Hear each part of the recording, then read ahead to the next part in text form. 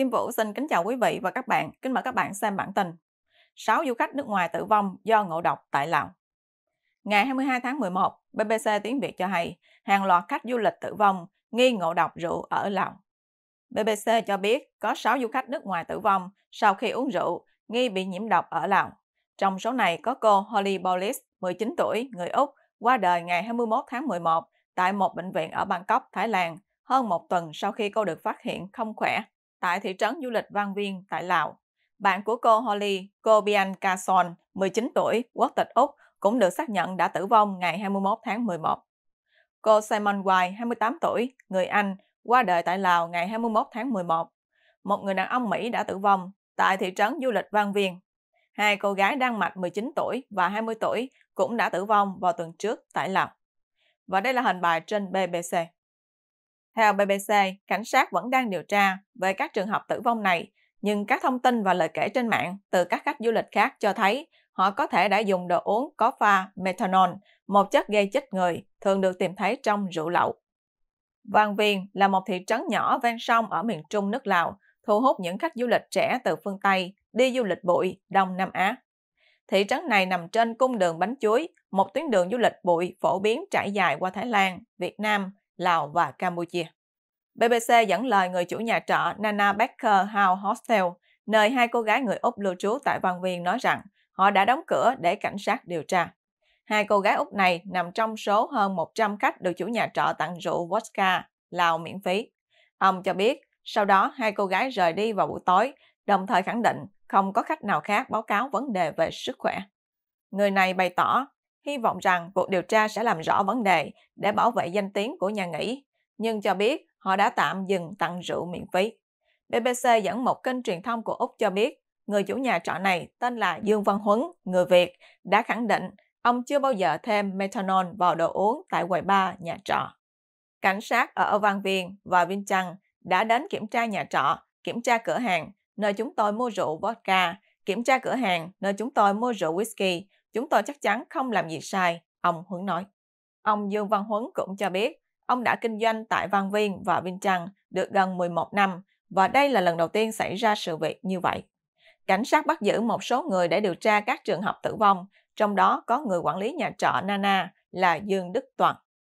Trước khi bị bắt, ông Toàn quản lý nhà trọ nói với hãng tin AP rằng hai người phụ nữ này nằm trong số hơn 100 du khách được nhà trọ tặng rượu vodka Lào miễn phí. Sau đó hai người này đi chơi đêm. Ông cho biết thêm rằng không có du khách nào khác gặp phải các vấn đề về sức khỏe. Và đây là hình một trong số các nạn nhân của vụ ngộ độc. BBC cũng cho biết hiện chưa rõ có bao nhiêu người bị ảnh hưởng và nhiều nước đang theo dõi vụ ngộ độc này.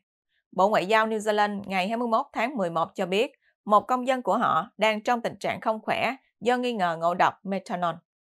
Bộ Ngoại giao Hà Lan cũng thông báo rằng một du khách Hà Lan đã được đưa vào bệnh viện nhưng hiện sức khỏe đã ổn định, trong khi một phụ nữ Anh khác đang nằm viện. Bộ Ngoại giao Mỹ cho biết họ đang theo dõi sát tình hình liên quan đến nạn nhân người Mỹ, đồng thời nói thêm rằng việc xác định nguyên nhân cái chết là trách nhiệm của cơ quan chức năng địa phương. Vẫn theo BBC, chính quyền Úc, New Zealand và Anh đều đã cảnh báo công dân của họ về nguy cơ ngộ độc methanol khi dùng đồ uống có cồn ở lòng. Không giống ethanol, thành phần chính của đồ uống có cồn, methanol độc hại đối với con người. Tuy nhiên, các nhà sản xuất rượu lậu đôi khi thêm methanol vào đồ uống của họ để tăng nồng độ cồn với chi phí rẻ. BBC cho biết thêm, đầu năm nay ít nhất 57 người ở Ấn Độ đã tử vong sau khi uống rượu pha methanol. Các trường hợp ngộ độc hàng loạt tương tự cũng đã được ghi nhận trên toàn thế giới, từ Philippines đến Peru. Tại Indonesia, methanol đã khiến hàng chục người nhập viện và thậm chí tử vong trong nhiều năm qua, nhưng hiếm khi ảnh hưởng đến du khách nước ngoài. Quý vị và các bạn đang xem chương trình trực tiếp của Kim Vũ với bản tin 6 du khách nước ngoài tử vong do ngộ độc tại Lào. Xin mời quý vị và các bạn chia sẻ video này cho nhiều người biết và bấm nút theo dõi trên YouTube và Facebook của Thời báo chấm đề để luôn được cập nhật bản tin mới nhất, nhanh nhất và trung thực nhất.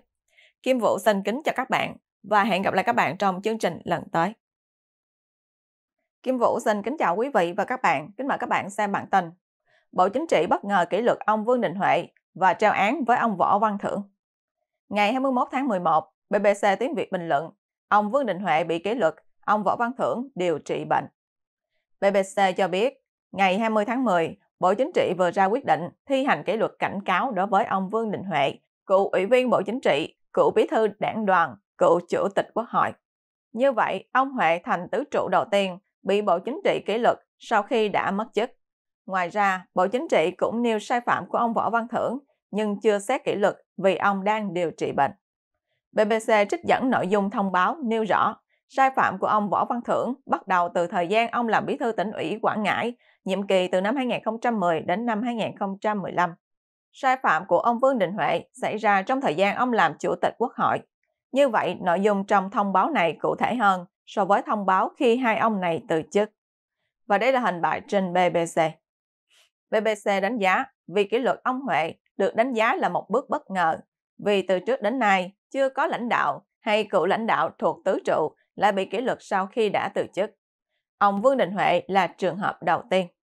Với việc kỷ luật ông Huệ lần này và thông báo chưa xem xét đối với ông Thưởng, có vẻ như câu chuyện chưa kết thúc. BBC bình luận, diễn biến này cho thấy có thể dưới thời Tổng bí thư Tô Lâm, những nhân vật trong tứ trụ nếu có vi phạm thì sẽ không được hạ cánh an toàn. Đây có thể là điểm mới trong cách xử lý những lãnh đạo chủ chốt của đảng khi mắc khuyết điểm. Hiện công chúng vẫn chưa rõ ông Huệ đã vi phạm cụ thể gì, mức độ nghiêm trọng ra sao, nhưng bài báo trên VN Express khi viết về sự kiện từ chức của ông Huệ hồi tháng 4 đã đề cập đến sai phạm của ông Phạm Thái Hà, trợ lý chủ tịch Quốc hội liên quan đến tập đoàn Thuận An. Về trường hợp ông Võ Văn Thưởng, BBC cho biết, vào thời điểm ông Thưởng thôi chức tháng 3 năm 2024, nhiều nhà quan sát đã đánh giá rằng sai phạm của ông diễn ra vào giai đoạn ông làm bí thư Quảng Ngãi từ năm 2011 đến năm 2014. Nhưng với thông báo mới của đảng thì cho thấy vi phạm của ông Thưởng có tính xuyên suốt mà thời kỳ làm bí thư Quảng Ngãi chỉ là điểm khởi động. Tức là các vi phạm của ông còn diễn ra cả trong thời gian ông giữ các cương vị thuộc hàng cao nhất của đảng và nhà nước, trong đó có vị trí chủ tịch nước. Và đây là hình Võ Văn Thưởng và Vương Đình Huệ. Như vậy, BBC nhận xét mức độ sai phạm của ông Thưởng nặng hơn so với phán đoán của các nhà quan sát, vì nhiều người từng cho rằng ông Thưởng bị mất chức do sai phạm từ 10 năm trước, không liên quan đến những vị trí khác, đặc biệt là khi ông vào Bộ Chính trị khóa 12, 13 và làm thường trực ban bí thư rồi lên chủ tịch nước. Với mức độ sai phạm mang tính xuyên suốt như vậy, liệu ông Thưởng sẽ phải đối mặt với hình thức kỷ luật nào? BBC dẫn lại phân tích của tiến sĩ Nguyễn Khắc Giang từ một viện nghiên cứu của Singapore cho rằng việc xử lý hình sự một nhân vật trong tứ trụ là câu chuyện mà đảng phải cân nhắc khi đưa ra chiến dịch chống tham nhũng từ năm 2013 đến nay. BBC cho rằng có thể Bộ Chính trị sẽ quyết định kỷ luật khiển trách hoặc cảnh cáo đối với ông Thưởng. BBC nhắc lại, ông Võ Văn Thưởng và ông Vương Đình Huệ từng là những chính trị gia có tiền đồ sáng lạng. Cả hai ông đều đủ tiêu chuẩn để tiếp tục ở trong tứ trụ sau đại hội 14. Riêng ông Thưởng là ủy viên Bộ Chính trị trẻ nhất và từng được coi là hạt giống đỏ để thăng tiến lên vị trí tổng bí thư. Do đó, việc hai ông mất chức được giới quan sát nhận định là những cơn địa chấn chính trị. Hiện ông Huệ bị kỷ luật cảnh cáo, ông Thưởng phải điều trị bệnh, cho thấy những diễn biến khôn lường trên chính trường Việt Nam, nhất là dưới thời Tổng bí thư Tô Lâm. Quý vị và các bạn đang xem chương trình trực tiếp của Kim Vũ với bản tin Bộ Chính trị bất ngờ kỷ luật ông Vương Đình Huệ và treo án với ông Võ Văn Thưởng. Xin mời quý vị và các bạn chia sẻ video này cho nhiều người biết và bấm nút theo dõi trên YouTube và Facebook của Thời báo chấm đề để luôn được cập nhật bản tin mới nhất, nhanh nhất và trung thực nhất. Kim Vũ xin kính chào các bạn và hẹn gặp lại các bạn trong chương trình lần tới.